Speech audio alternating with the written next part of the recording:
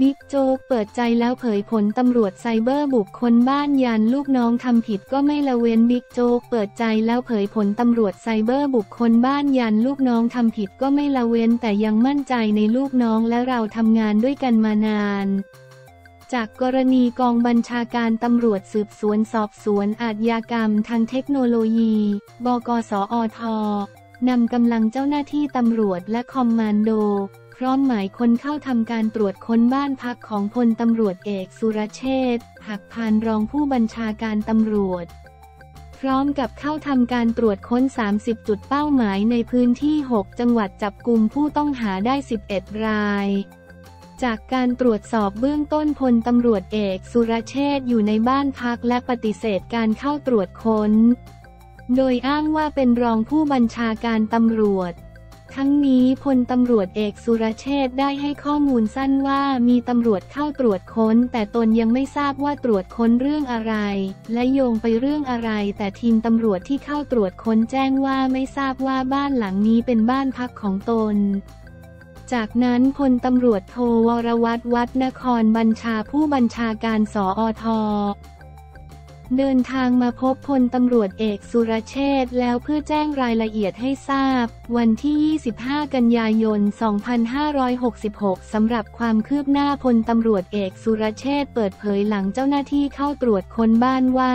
สำหรับกรณีที่ศาลออกหมายจับผู้ใต้บังคับบัญชา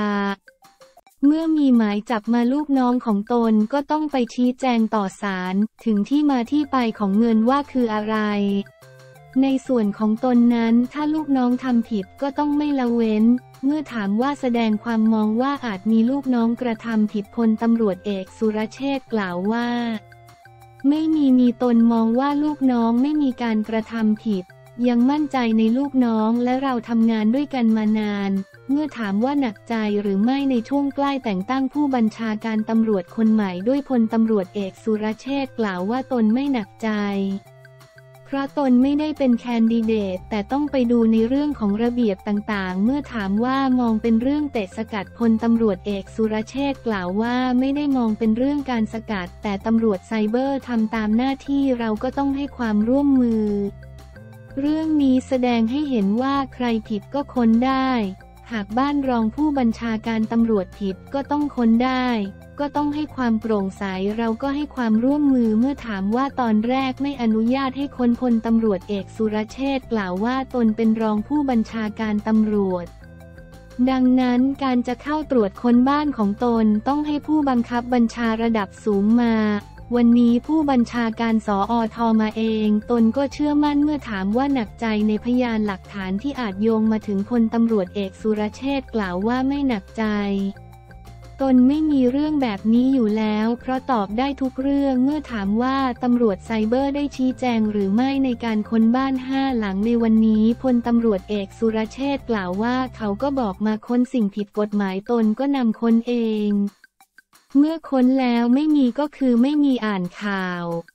ด่วนบุกค้น 30 จุดบ้านบิ๊กโจ๊กด้วยรูป 11 ผู้ต้องหามีพลตำรวจตรีพันตำรวจเอกอ่านข่าว ด่วนตำรวจไซเบอร์บุกค้นบ้านบิ๊กโจ๊ก หลังพบเกี่ยวกับพรบการพนันอ่านข่าวบิ๊กโจ๊ก ปฏิเสธให้ตำรวจไซเบอร์เข้าค้นบ้านด้านผู้บัญชาการสอท.รุดลงพื้นที่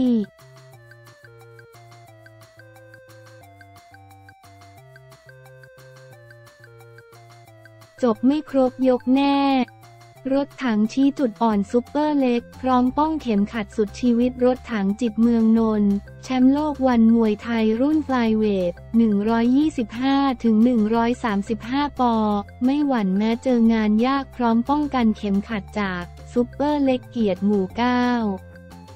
ในฐานะคู่เอกศึกประวัติศาสตร์แห่งปีวันลุมพินี 34 วันศุกร์ที่วันที่ 22 กันยายน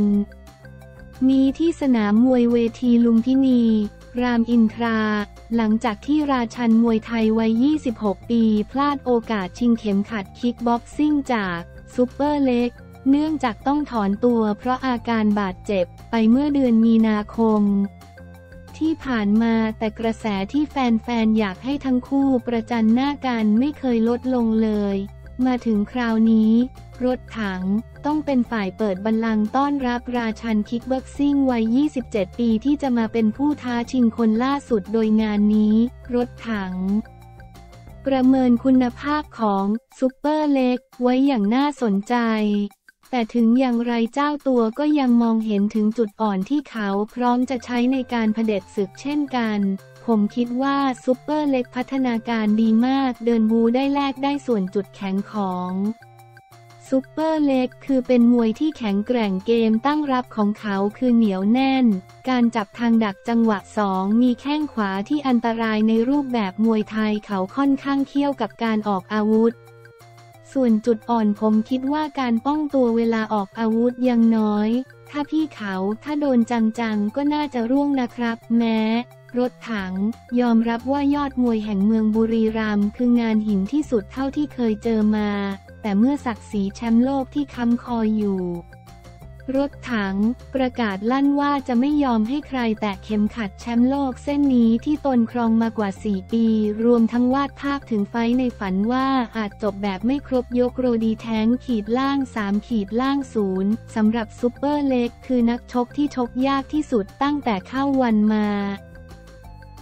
ดังนั้นผมจะประมาทเขาไม่ได้ ผมต้องเตรียมตัวให้แข็งกว่าเดิม ผมจะแสดงทุกรูปแบบในสไตล์ของผมทุกอย่างที่ผมมี ผมจะใส่ไปให้หมด ผมต้องเอาชนะให้ได้ ผมไม่มีทางยอมให้ใครมากระชากเข็มขัดเส้นนี้ไปได้อย่างแน่นอน ถ้าเขาพลาดให้ผมผมก็จะเอาเขาให้ถึงน็อกได้เหมือนกัน แฟนๆ สามารถรับชมการถ่ายทอดสดศึกวันลุมพินี 34 ผ่านทาง watch.onfc.com บางประเทศ Facebook and YouTube วัน บางประเทศ เริ่มคู่แรกเวลา 19นาฬิกา30 นาทีและทางช่อง 7 HD กด 35 เริ่มรับสัญญาณสดเวลา 20 นาฬิกา 30 นาที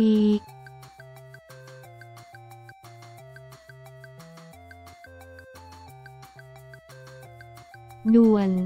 ซูเปอร์เล็กตกตาชั่งชวดชิงแชมป์กับรถถังศึก ONE ลุมพินี 34 ถือเป็นเรื่องน่าเสียดายเมื่อซูเปอร์เล็กเกียรติหมู่ 9ผู้ท้าชิง